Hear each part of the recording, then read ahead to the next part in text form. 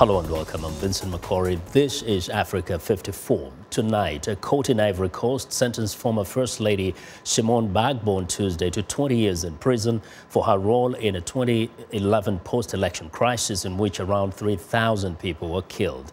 Gbagbo, who was also wanted by the International Criminal Court, was tried alongside 82 other allies of former President Laurent Gbagbo. General Bruno Dogbo Blé, who headed the elite Republican Guard, and former Navy Chief Admiral Vagba Faussignaux were also each jailed for 20 years, while others, including the ex-president's son, got shorter sentences.